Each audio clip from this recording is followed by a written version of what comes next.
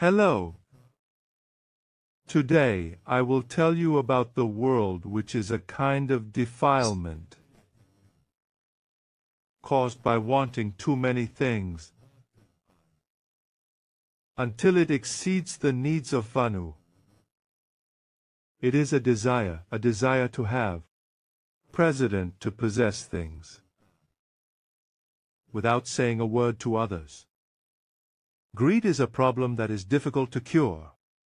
But if we know the rain closely by heart, know how to be generous and know how to give to others, it will help us reduce greed and be able to live a happy life.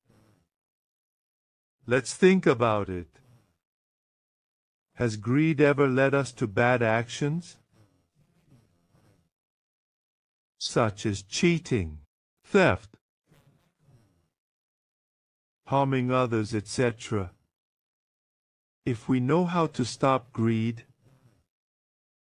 we will be able to cherish these actions and make our lives and our society better. May everyone learn to train their minds, know how to be self-sufficient and know how to give to others, so that we can reduce weight and have a happy life. Thank you to everyone who watched.